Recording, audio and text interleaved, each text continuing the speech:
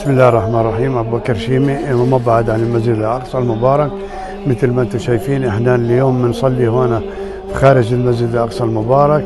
وكل يوم عم بتزيد الأعداد والشباب عم سبحان الله بتنضم إلينا.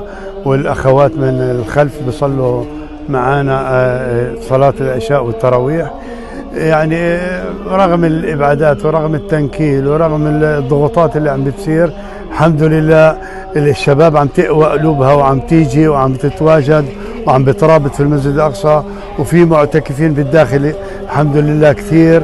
واللي بين إنه بالآخر عاود رضخ المحتل للأمر الواقع وتركوا المعتكفين. إحنا إن شاء الله على الطريق ما دمنا أحياء ثابتين في الداخل في الخارج مرابطين محافظين على المسجد الأقصى.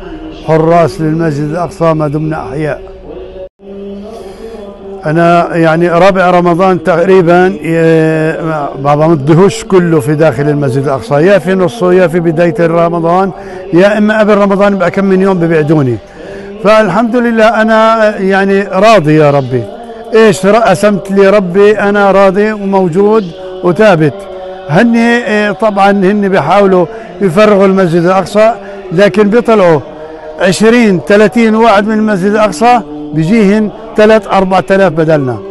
الحمد لله من فضل الله عز وجل. شفتوا بأول كم من يوم من شهر رمضان قديش كانت الأعداد بشكل رهيب تتزايد.